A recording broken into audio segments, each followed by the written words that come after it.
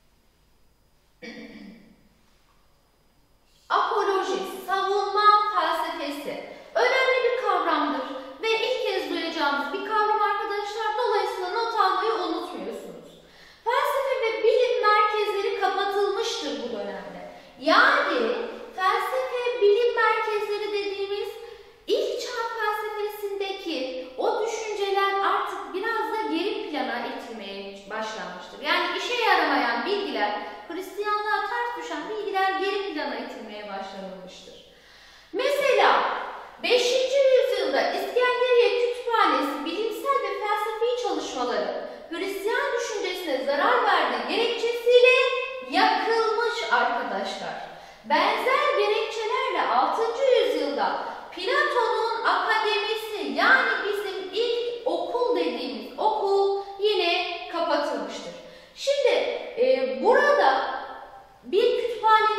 kapatılması ya da bir okulun kapatılması aslında düşünce faaliyetinin geriye doğru gideceğini gösteriyor. Yani orta çağ bundan dolayı düşüncelerin çok fazla, bilimin çok fazla ilerleyememesinden dolayı karanlık çağda denilmektedir. Bu dönemde temel olarak inancın bilgiyi mümkün kıldığı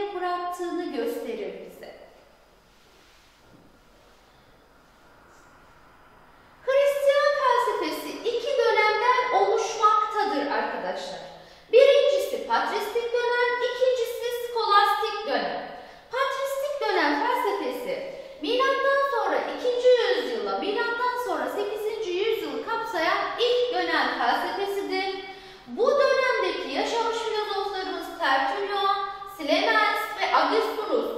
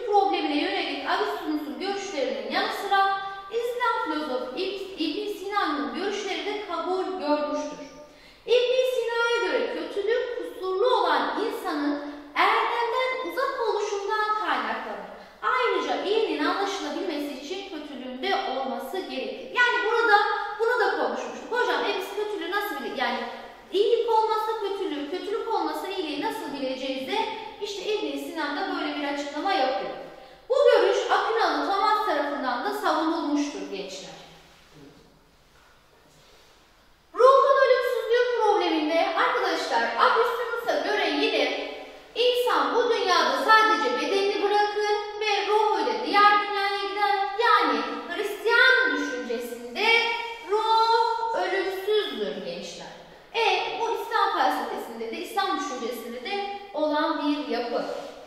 Şimdi gelelim tümeller problemine arkadaşlar. Tümeller probleminde üç farklı e, yapı karşımıza çıkıyor ve bunları bilmeniz gerekiyor arkadaşlar. Çünkü sınavda gelme ihtimali var.